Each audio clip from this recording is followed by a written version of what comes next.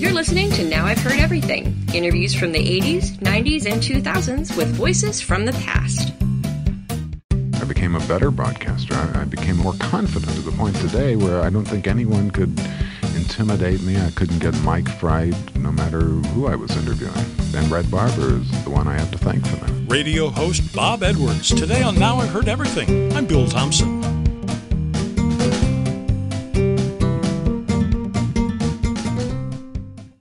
This Sunday is National Radio Day. It's the annual commemoration of all the contributions that the radio industry has made.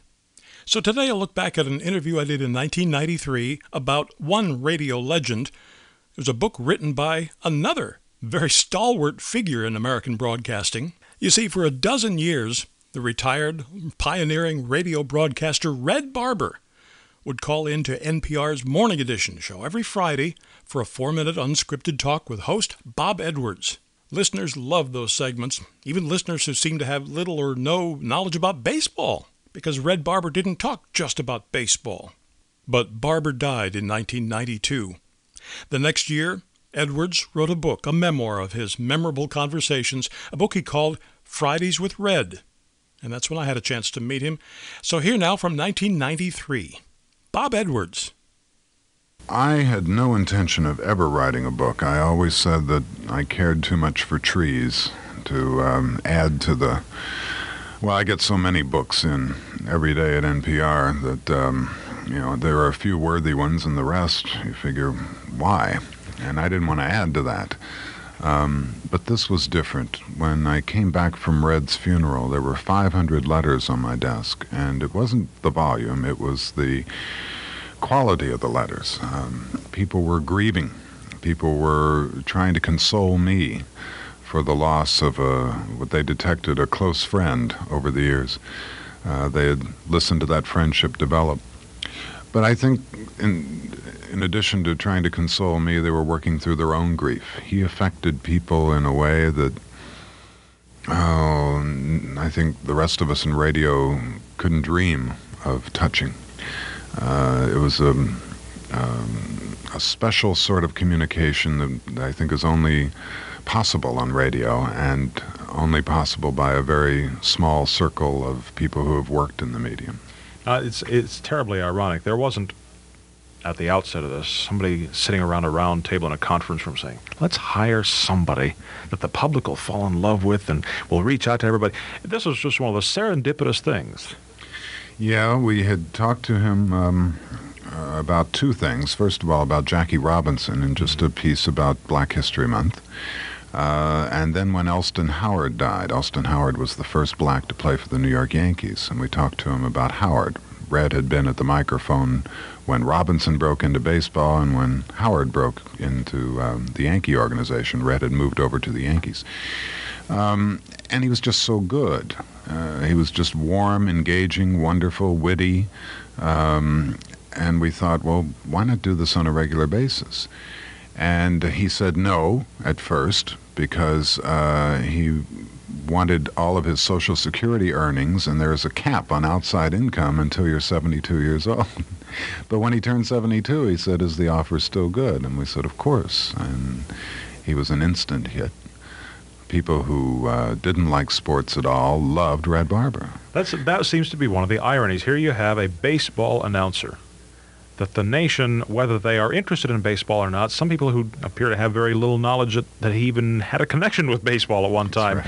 seem to get such a big, big kick out of him. That's right. Well, he broke through all the lines, and uh, it seemed like only occasionally we talked about baseball. I'm sure we did much more often than I recall, but he would talk about what was growing in his garden. He would talk about the weather in Tallahassee, where he did his broadcasts. He did them from his home. He would be talking to me. I'd be in a studio in Washington. He would be at his home in Tallahassee. Um, he would talk about the uh, squirrels getting into the bird seed he had left for the birds. He would talk about his cat. Um, who um, got too close to a mockingbird nest and was dive bombed by Father Mockingbird. People love this stuff. This was you wouldn't have predicted this, but uh, but people loved it. They loved the, this bit of humanity coming at them um, from Tallahassee every Friday, and and uh, I don't know. They just felt engaged to a larger world out there. It was a welcome relief to all the mayhem and murder and war and pestilence and all the grim things we talk about in a news program. Here was Red.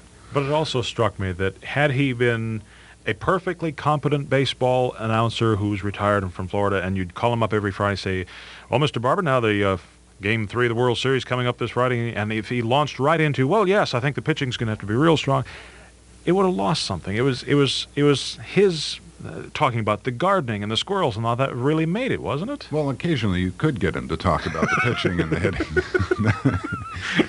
But usually he'd say, uh, "Well, Robert, that reminds me of the time in 1945 when Branch Rickey, uh, those were his heroes, Branch Rickey and Larry MacPhail, the two great innovators of baseball." Uh, so we, would we'd get a history lesson. Uh, but there are very few people around who can give us that history lesson. So he had that dimension too. Usually, if if we wanted to talk about a um, contemporary sports event, he could find an example in his many years in the game uh, to show us that well, this was nothing new after all, and uh, we've been around this block a couple of times before. I don't want to sound awkward, but I mean we don't treat the elderly always with a great deal of respect. Right. Did you ever fear at any point along the way that he's starting, you know, 72 years old, he's he's getting older? Did you ever worry? Is Red going to go off the deep end some uh, morning? Or are we going are we going to have some day when he's just going to just kind of lose touch with reality altogether? Not with Red. uh, Red would show us time and again he was a lot sharper than we were. Uh, the body was very frail. He was a little scrawny guy, but the mind, the mind was working overtime. The wheels were turning all the time. For example, um, we talked once about the Iditarod sled dog race in Alaska. He was fascinated by that. Um, the, the the elements, uh, the chorus, um, the the teamwork between the team and the musher, and the fact that Susan Butcher won it four or five times. All of that fascinated him. One year they were having trouble with moose. There were so many moose in Alaska that year that the, the teams were running into moose. Not good for the teams. And I playing the jocular host, I said, Well, Red, I guess you don't have much trouble with moose down there in Tallahassee. Ha ha ha. And he says, Only the fraternal kind. now, see, that was so quick.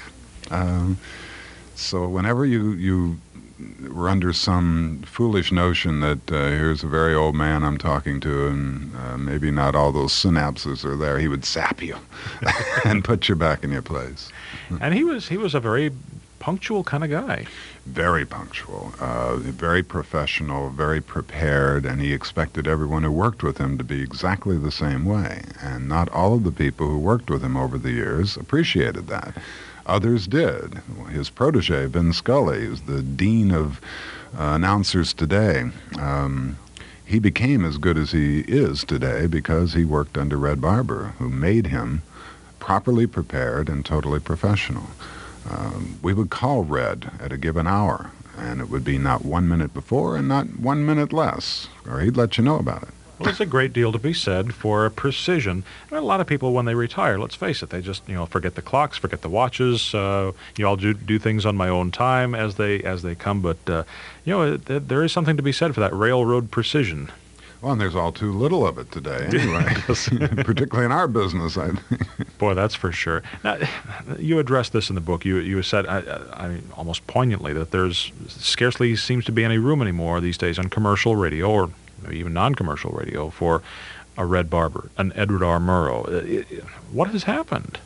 Um, you cannot have another Red Barber because you wouldn't have time to be Red Barber. Red developed his personality um, in the course of long baseball games in which he had only three commercials. When he started out, that's that was the business: three commercials in nine innings. Uh, today, uh, Bob Costas, or one of the other great sportscasters, has to do three commercials between pitches. they're selling the beer, they're selling this, they're selling that. Um, there is no time to let your personality come across uh, on, in a radio broadcast. I think you can do it better in other areas, maybe an interview program or the like. But doing play by play, it's all business, and you've got so much you've got to take care of, and the sponsors and the promos and the uh, network business and this and that. There isn't time to tell stories the way he would tell stories about ball players and situations, and maybe his father, the railroad engineer, and all kinds of stuff. um, he had time to be Red Barber, and, and there is no time for that anymore. Of course, it's not just the stories you have, it's the way you tell them, too. Exactly right. And this was a man who's, as I said, his father was a railroad engineer, a very gregarious, outgoing man who was a great storyteller. His mother was an English teacher uh, who insisted on proper grammar from all of her children. Now, you put the two together, and you have Red Barber. You have a very literate, very literary, outgoing storyteller. Uh, it's just the perfect combination of people to make a Red Barber. Who was probably trained from an early age, subconsciously or not, to, to keep those synapses active, because you know when you your mind is a muscle, you exercise your mind. You don't uh, you don't it, it doesn't go slack uh, as quickly as other parts of the body. Well, he worked in the very early days of radio. Uh, was only 10 years old when uh, he got into it. It was 1930. And they were still making it up as they went along. Now, this, this taught you to think on your feet. Everything was an ad lib situation, unless you were reading news copy, I suppose, or reading the, the sponsor's copy he had provided. Everything else was just seat of the pants radio. So he was a pro at that. Now today, I have to I have to tell you, I'm not one of those people. I need a script. I need to follow an outline. I need some kind of direction. Well, Red got me out of that a bit because these four minutes we had every week were just totally spontaneous. The only spontaneous bit on the program. And uh, I would have to think on my feet. I would have to be ready for the curveballs he would throw me, and he would you know, he would delight in that. Let's see how the young fellow's going to handle this one. Yeah? well, it is a bit revealing to see how how you changed too uh, through the years. Did. I certainly did. I matured as a broadcaster. I became a better broadcaster. I, I became a more confident broadcaster to the point today where I don't think anyone could intimidate me. I couldn't get mic fright, no matter who I was interviewing because and Red Barber is you know the one I have to thank for that. Even if they brought up azaleas. I'm ready for azaleas, thanks to Red, and camellias, and amaryllis, and caladiums, and all those things. Wisteria.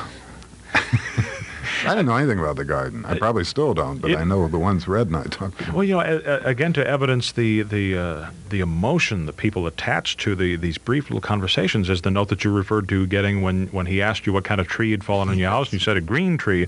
People took you to task for oh, that. They did. They did. Why are you acting like a smart aleck with that nice red barber? He asked you a perfectly nice question. And then he, wanted to know about my, the camellias I had in the backyard. And, and uh, he said, uh, "What are they? What what kind do you have?" I said, "Pink." Well, this wouldn't do. I mean, they have names. You know, they have names like Julio Nuccio, which sounds like a second baseman to me. but uh, he wanted to know what kind. Uh, I said, uh, you know, what was its name? He said, well, I don't know, Fred, Frank. I don't know. We're just getting to know each other. It just bloomed that was unacceptable to Red. You know, to, to have a, a dozen years and uh, have him only miss three or four, uh, uh, less than less than half a dozen uh, Fridays in all that mm-hmm. time. Well, when you've got Christmas Day falls on Sunday some years, and Thanksgiving, well, you know, the holiday people take off for the whole weekend and they're gone. People get sick. People go on vacation. That's an incredible endurance record. Well, he stayed close to home. He stayed close to Tallahassee. He didn't want to travel much. His wife was very ill, and he was kind of paying her back for all the years that he was on the road, and she was a baseball widow. Um, so he stayed pretty close to his house, and um, so it was, I don't think it was hard for. I think he actually looked forward to those four minutes every Friday. It, it kept his hand in the business. Uh, I think he enjoyed telling his story to a new generation and, frankly, a new audience because uh, it must be said the NPR audience is not uh, a big sports audience. but it didn't matter to them. It didn't matter to them because of how special Red was. Couldn't help wondering how many, over the years, how many young people or not so young said in their own way to their own parent, Daddy, who is Red Barber? Yeah. They did, and they found out. um, yeah, Red reached a whole new group of people who had never heard him broadcast, and uh, you know, play by play, doing him an actual baseball game. So they'll have to go to the archive tapes for that, but they could hear him in another venue every Friday morning. It'd be kind of superfluous and almost pointless to try to say, what can we replace, replace Red with? I mean, yeah. you, you can't replace Red we knew that day was going to come, obviously, and, and we knew all along that we would never try. It uh, for two reasons. One, um, it just seemed sacrilegious. It's, it seemed irreverent to uh, say that we could replace Red Barber, to even think about it. But the other thing was, how would you like to be the guy who followed him? It'd be like following Bear Bryant at Alabama or you know Tom Landry at Dallas. You just don't want to do that. Um, puts you in a very awkward position. The guy who follows Tommy Lasorda. Yeah. I don't know. Some Dodger fans might suggest someone should. Bob Edwards, who is 76 now, left NPR in 2004. He currently hosts a podcast for the AARP. And you can get a copy of Fridays with Red by Bob Edwards by clicking on the link in our show notes or by going to our website, heardeverything.com. And that's where you'll hear my interviews with two other major figures in radio for National Radio Day. My 2003 conversation with Garrison Keillor. In Minnesota, you're not quite allowed to enjoy your success. We are a culture of modest people, and and we we would actually prefer that you come in second or third. And my 1995 interview with Wolfman Jack, which actually turned out to be his last radio interview. I remember when Elvis came out with his first record, Heartbreak Hotel he was probably the only white artist on the whole program, and it was quite unusual to have a white artist doing rock and roll back in those days, you know. And of course, we post new episodes of Now I've Heard Everything every Monday, Wednesday, and Friday. And you can find us on every major podcast platform. In fact, if there's a platform that you use that you can't find us on, let me know. Thank you so much for listening. Next time on Now I've Heard Everything, he made a big name for himself in the 60s with his expose of Chevy's Corvair and its dangers. Uh, his book was called Unsafe at Any Speed. Well, Ralph Nader has devoted his life and career to consumer activism. And finally, in 1993, he wrote a book about airline safety. So we'll revisit my 1993 interview with Ralph Nader. Why don't they tell you which airlines are safer? The pilots know which airlines are better in maintenance standards. There are differences in terms of aging aircraft. People should have scorecards available to them. That's next time on Now I've Heard Everything. I'm Bill Thompson.